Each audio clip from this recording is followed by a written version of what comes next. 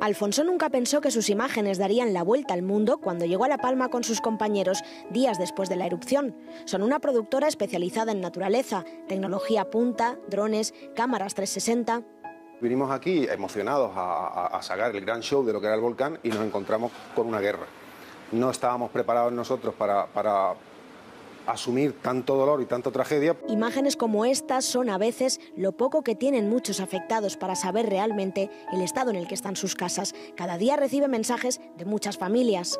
Que hay un, hay un problema enorme y es que llevan como 50 días todos los vecinos sin saber cómo están sus casas ahora nos mandan la latitud y la longitud y entre ellos se, vayan, se van ayudando, nos, la mandan, nosotros nos organizamos, preparamos los vuelos y por la noche luego subimos todas esas fotos. Esto ya no podemos más, o sea, es que ya nuestra economía eh, no lo puede soportar y es que el estado emocional nuestro tampoco lo puede soportar, son 40 días sin descanso.